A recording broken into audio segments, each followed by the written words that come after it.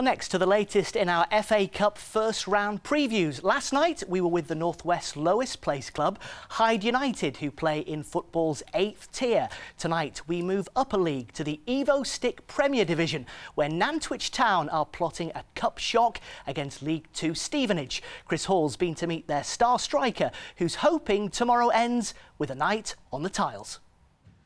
This is the reality of semi pro football. Even on match days, kick-off can come after a full day's graft.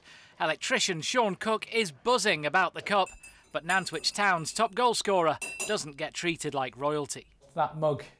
You're going to get some ribbing for that tonight. Oh, no, yeah. you seem quite handy. What are you trained up in? I'm an electrician and I can do a bit of tiling, which uh, my dad taught me how to do. And what would he make of you tiling upstairs? Oh, I'm miles better than him, so if I ever do a bad job or a good job, it's still better than his.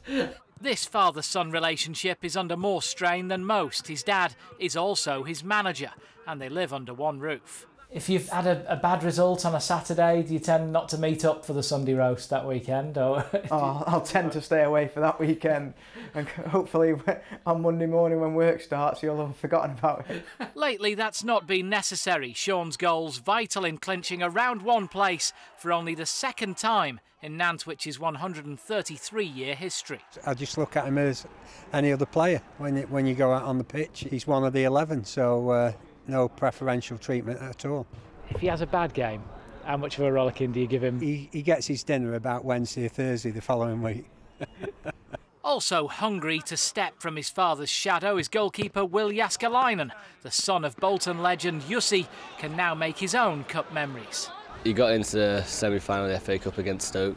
I was buzzing to go to Wembley for the first time yeah, that was a good experience, but we did lose, so it wasn't that good. But if you could get through to the second round, you really would be making history here. Then. Yeah, that would be amazing. Still a fairy tale now, but hopefully it'll come true at the weekend. This rural club has a few golden needles in a haystack of non-league campaigns. They won the FA Vase in 2006 and then reached the FA Trophy semi-finals, while Andy Locke's 1995 hat-trick in just 2 minutes and 20 seconds remains an FA Cup record.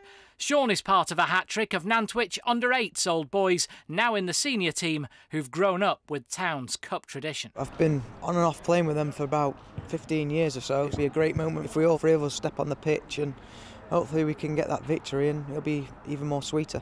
We've seen your son uh, doing a bit of work at a house today. He says that you taught him everything that he knows. Did he do a good job? He did. He seemed to do all right. the house hasn't burnt down then yet. The only other time this club has reached the first round, they lost 6 0 to MK Dons.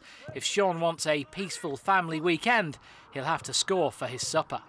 Chris Hall, ITV News, Nantwich.